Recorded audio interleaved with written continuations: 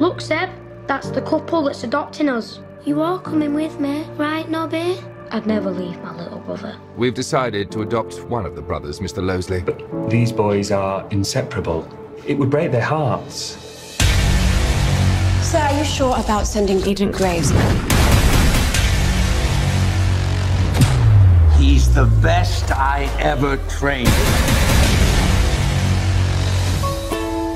For 28 years, I've been searching for my baby brother. You haven't seen anyone who looks like this? I hope I don't, I don't die before I get old.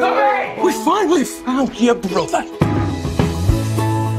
He's gonna be at this posh event tomorrow.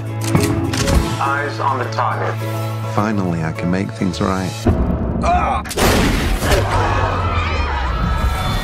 Nobby? Oh my god.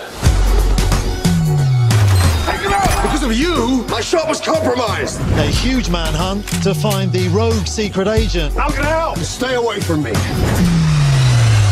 Don't worry, brother. I won't leave you. Don't worry, it's bulletproof. You can't help us. We've got bulletproof glass. That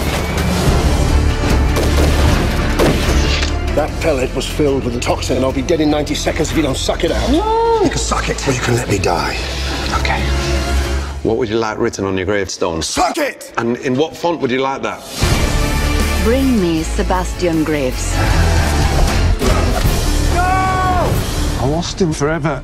I'm useless. You are not useless. Who's the man who can get me pregnant without even waking me up?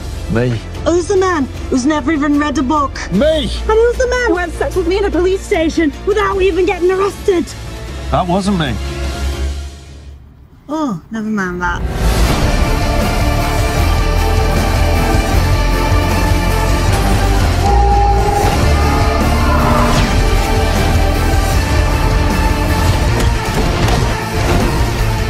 You don't have guts. I disagree. Ukrainian Ben Affleck. Oh, well, that is, eh? I understand why you love guns so much. I mean, it completely detaches you from the guilt of your actions. Oh, Will you stop shooting everything?